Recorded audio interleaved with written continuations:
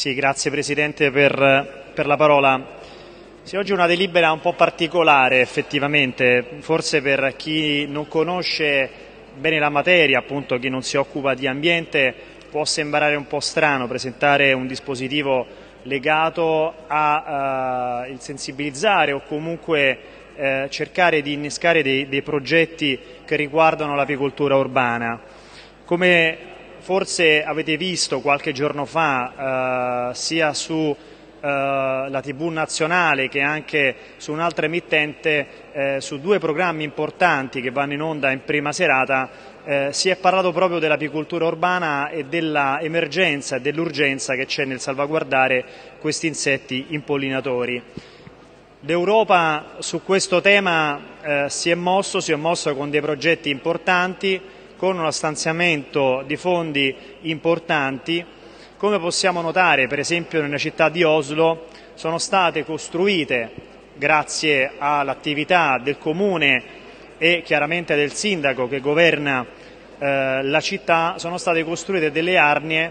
proprio per eh, tentare cercare di salvaguardare questi insetti. Si è creato perciò un, all'interno di questa città importante si è creata una, una, convivenza stabile tra uomo ed insetto, un, un equilibrio che va avanti da eh, infiniti anni praticamente, da quando è nato il genere umano. E questo insetto ricordiamo che mantiene un equilibrio sostanziale eh, è oramai purtroppo precario tra eh, l'ecosistema e la biodiversità, perciò tra uomo e natura. Ricordiamo altresì che l'ape eh, in qualità di impollinatore rappresenta il 70%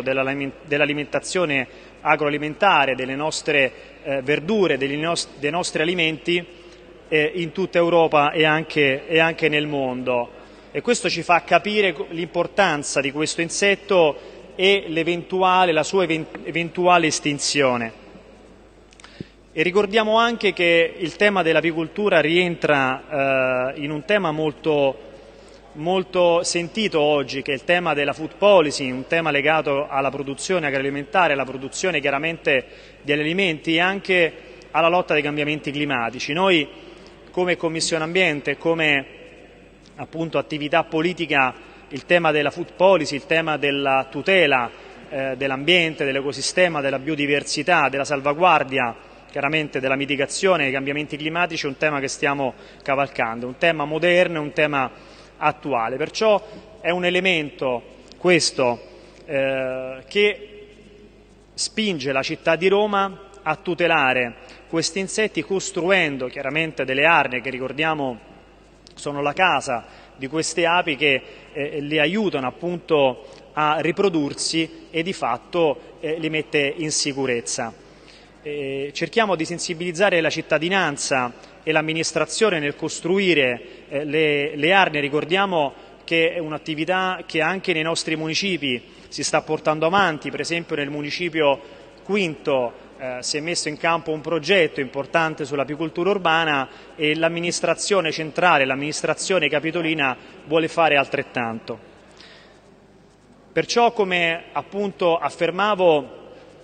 eh, Roma Capitale, oltre alla costruzione di Arnie, cercherà anche di sensibilizzare eh, i più piccoli, perciò eh, appunto i ragazzi, la gioventù, eh, nella cultura della salvaguardia delle api all'interno delle scuole, all'interno eh, appunto delle comunità eh, dei ragazzi, all'inter all'interno delle associazioni, dei centri appunto di, eh, culturali che si occupano eh, di questa materia e delle materie ambientali. Ricordiamo che purtroppo eh, le api muoiono eh, a parte per il cambiamento climatico, perciò per il surriscaldamento del nostro pianeta, anche per l'inquinamento atmosferico. Eh, per esempio per la grande quantità, l'ingente quantità di pesticidi che sono eh, irrorati sui nostri terreni agricoli o comunque anche su un'elevata quantità di PM10 di particolato che c'è nella nostra atmosfera. Ecco, questo sta eh, danneggiando il nostro ecosistema e in esso anche, e anche le api. E appunto noi come Commissione Ambiente, come amministrazione, come eh, Comuni di Roma, come Roma Capitale abbiamo il dovere e potremo essere anche il capofila su un tema così importante e così delicato dove le altre città, gli altri comuni italiani eh, potranno sicuramente seguirci. In effetti molte associazioni hanno scritto alla nostra Commissione per essere auditi e per essere appunto eh, coinvolti in questi progetti e eh, in, questo, in questo percorso. Ecco, questo per dirvi che comunque questo atto, questo dispositivo rientra in un piano di azione per la mitigazione ai cambiamenti climatici, alla lotta degli agenti inquinanti, alla salvaguardia della biodiversità e anche alla salvaguardia della produzione agroalimentare. Ecco, questi sono temi centrali, sono temi importanti dove la politica, come sta facendo giustamente l'Europa, deve dare un importante contributo. Grazie Presidente, eh, attendiamo anche la presentazione di emendamenti perché eh, sono stato informato che i miei colleghi hanno presentato degli emendamenti appunto per migliorare questo atto. Grazie.